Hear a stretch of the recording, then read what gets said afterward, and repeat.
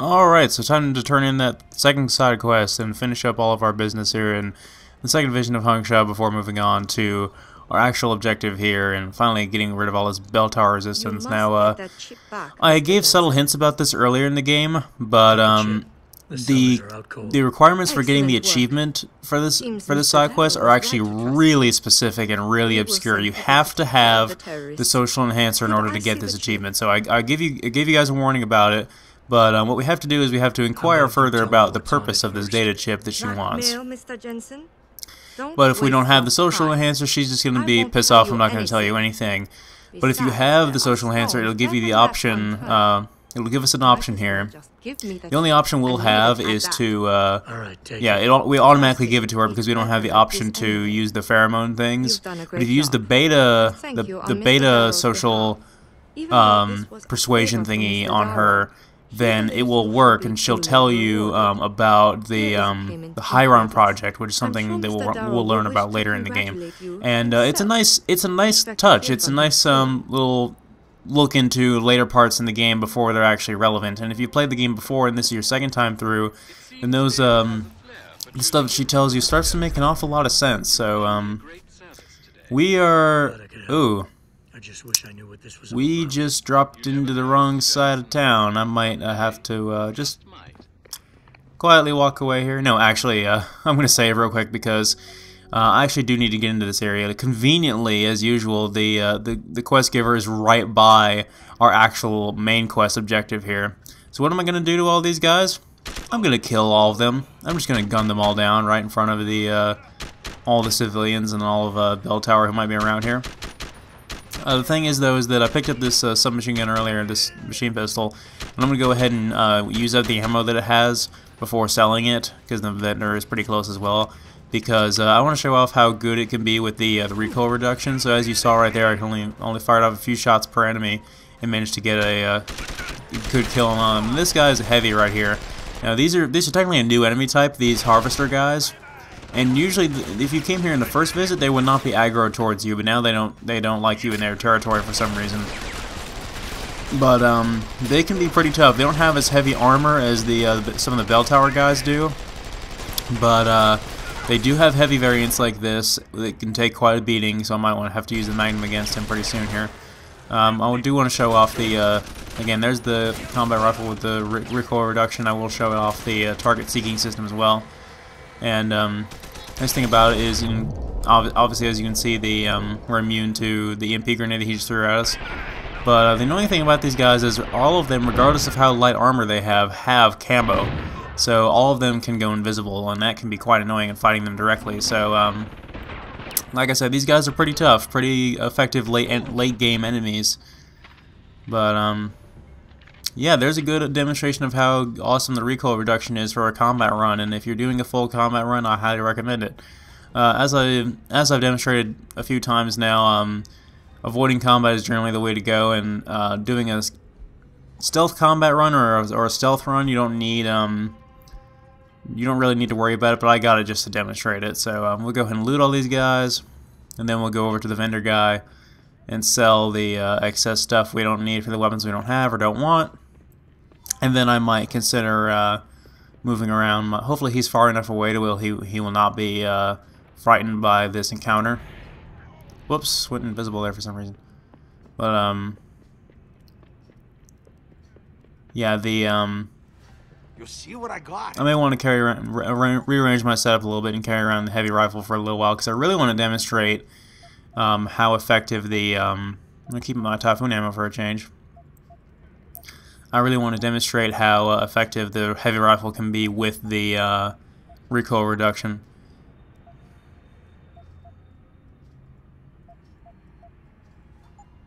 Yeah, I will be right here.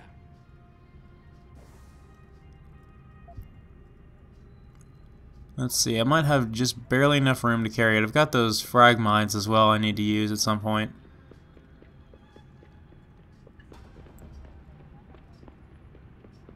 Everybody chill, it's just a gang war. Well, it's a, a gang versus a one-man army, but still. Okay, I need to drop something to be able to hold it. Um, you know, this this one shotgun pack right here of shells does not really have that many in it, so it won't, I won't really be... Oh, it only has like two in it. I'll just go ahead and drop that. We'll go ahead and reload this baby so we can hold more rounds in the clip. And then we gotta hack our way into the Harvester's secret hideout. And we can only, I'm pretty sure we can only get into this area at this point in the game. We couldn't get in here earlier. So, um...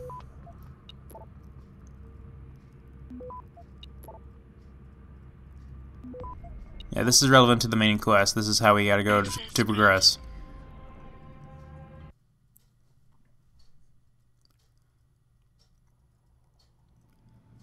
So maybe the harvesters kidnapped uh, Sevchenko wherever he is, and uh, maybe they maybe they uh, have the rest of the scientists with them. It makes sense. I mean, they do have a lot of augmentations. Maybe they wanted them for some reason. But um, there's many different paths to this place, as there are with all the levels. But uh, I want to be showing off the the quickest way and also the stealthiest way. I mean, I will be doing a bit of combat to show off the heavy rifle as usual.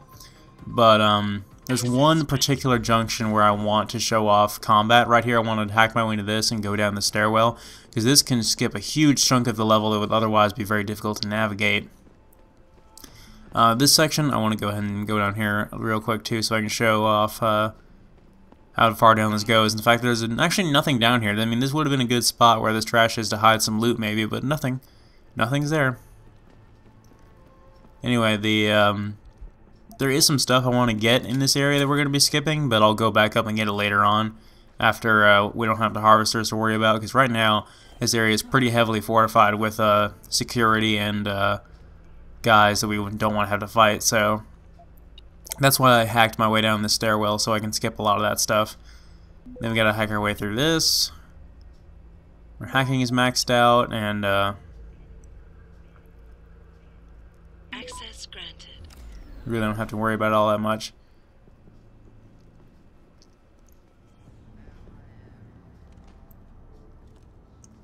Now this this whole place is essentially going to be like a parking garage to where we go down the multiple levels. So uh, we're always going to be going down.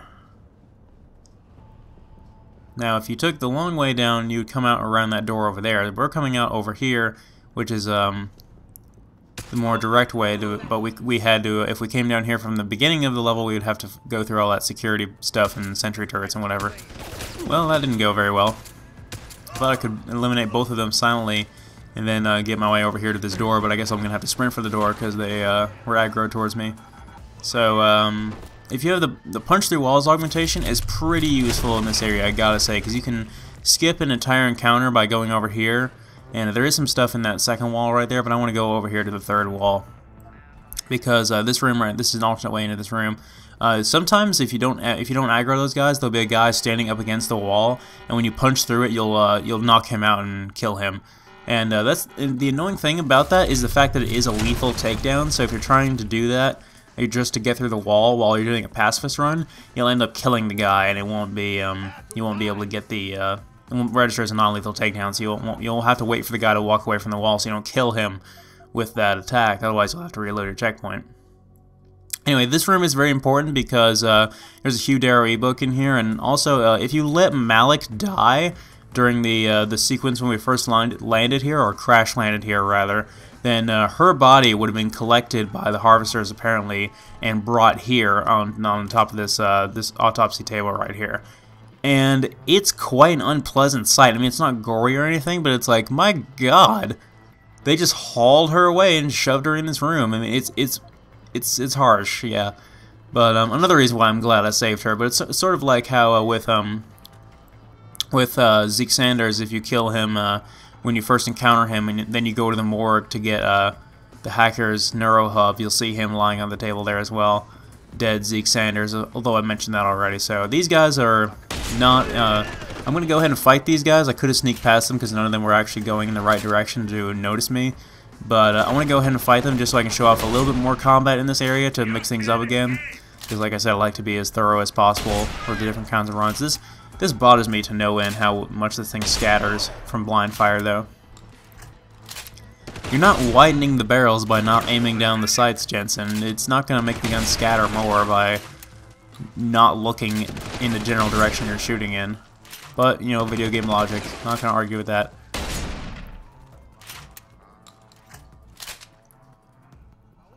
I haven't been using this thing all that much, so I really don't care about using it at range, but, um, yeah, needless to say, this is no Doom 2 double-barrel shotgun. I've actually been playing a lot of Doom 2 on the, uh, Xbox Live Arcade, and I've been having such a blast with that game. I really can't wait for a BFG edition to come out for Doom 3. I'm really, I'm pretty tempted to do that LP, honestly. This guy's taking a beating, though, from the shotgun here. Like, we're doing a pretty significant amount of damage, it's just he has a ridiculous amount of health and armor. So, um, yeah, I'm gonna go and use some of my healing items as well.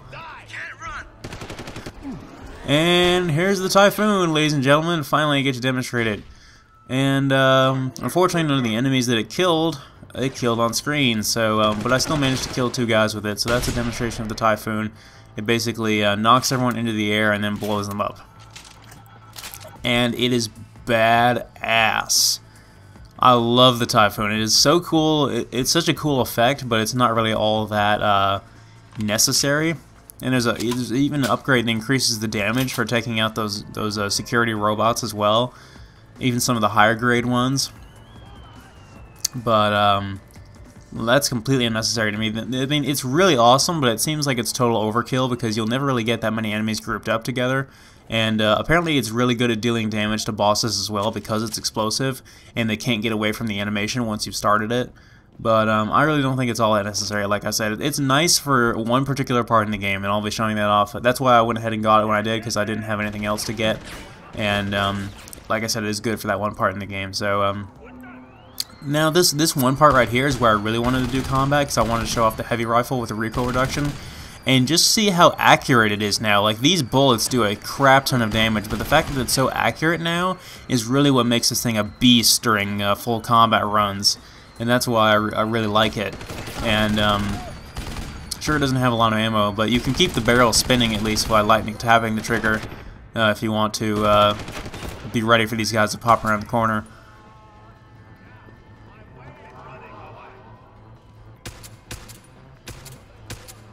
There we go.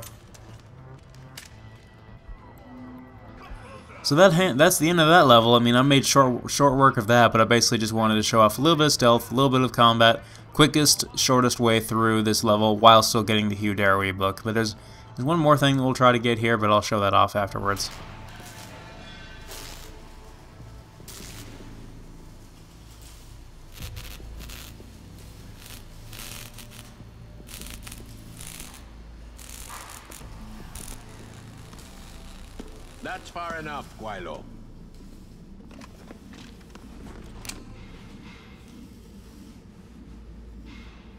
Tong, you son of a bitch. You have got to be kidding me.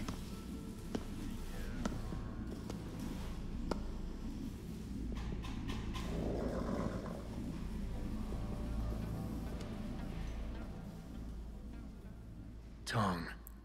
Mind telling us where you found that arm? You disappoint me, Jensen. I thought we were friends.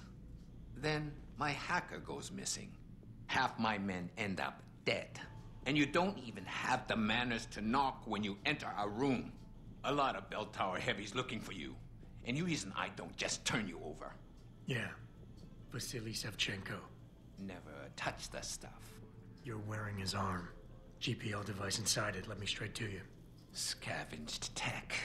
Get you every time. Wrong woman, don't do that here.